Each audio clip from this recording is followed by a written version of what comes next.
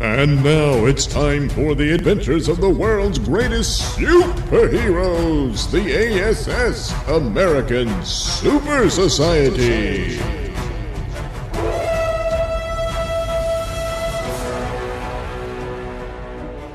In our previous episode, the alien tyrant Kankersaur kidnapped most of the members of the American Super Society in order to use them to fight and defeat his enemies on his home planet. Meanwhile, Night Knight and Snapper Jones, who Kankersaur doesn't realize is in reality Captain Timely, were left behind as a trap for Sun King should he return. But he's busy suffering from dark matter poison in another trap set by Kankersaur. Meanwhile, somewhere in deep space, the space vessel of Kankersaur travels on into the embattled star system that Kankersaur intends to rule at the defeat of his enemies. Alright, now we're nearing a small planetoid that operates as a temporary base for Prime Master Poop Scooch. Venusian Headhunter, you're up first. Don't bother struggling. Though your mental powers of telepathy and telekinesis are indeed formidable, they're no match for my technological wizardry that enslaves you to my will. Now, go out this airlock, descend to the planet below, and bring me back Poop Scooch. And so, unable to resist the willpower of Kankersaur, Venusian Headhunter does exactly as he ordered. Soon, within the atmosphere of the planetoid, Venusian Headhunter encounters another strange alien spacecraft. Hmm, that vessel. It must belong to this Prime Master Poopscooch.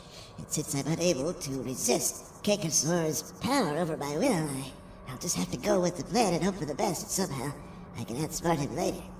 Hmm, according to my telepathic scans of the vessel, it is indeed heading to the headquarters of Poopscooch. So I'll just follow it there and capture Poopscooch at the first opportunity. Wait, what's this? Oh no! The ship spotted me! It's firing missiles at me! I've Got to dodge them! Oh no! Uh, They're locked on my heat signature! Oh, uh, Got to use evasive maneuvers! And so, the Venusian Headhunter does indeed engage evasive maneuvers in order to avoid the three missiles in hot pursuit of her. Zigging and zagging, he is miraculously successful in causing at least two of the missiles to impact on the alien topography below. However, Well done! I managed to destroy two of those missiles uh, in the canyon below, but uh, this last one, I, I'm unable to shake it. It's getting closer and closer, running out of time. I, wait a minute. Oh, we've managed to uh, fly ahead of the position of the alien spacecraft. I, I've got to head directly towards it. Perhaps, just perhaps, its heat signature will uh, overpower my own, therefore taking the missile right up its butt. meanwhile, above Poop Scooch's vessel, Say, what's with all the racket? Uh, uh, oh, Prime Master, we detected an, an alien object in pursuit of our vessel. An alien object that may or may not have been a vessel or a creature. We couldn't quite tell. It basically looked like a, a- a floating uh, testicle. A floating testicle? It must have been some sort of creature. Obviously, a potential spy for that nasty bastard Kakathor.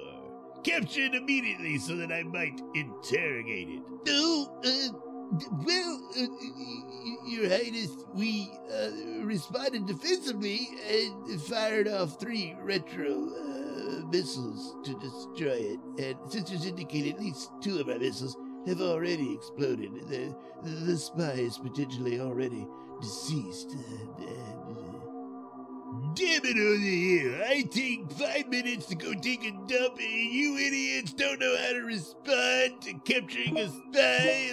Wait, Master. Since it's indicate the creature is returning. In fact, it's coming right for me. Yeah, oh no, it's being pursued by our own missile. What? Oh, oh, that. And so Poop Scooch's vessel is indeed destroyed by its own missile. The flaming hulk crashes down upon the rocky topography of the planetoid below. Miraculously, however, Poop Scooch himself manages to survive and escape the flaming wreckage of his ship. But Prime Master Poop Scooch, I presume? You- Oh my god, you, the nutsack. Nutsack? No, no, no, I'm the Venusian headhunter.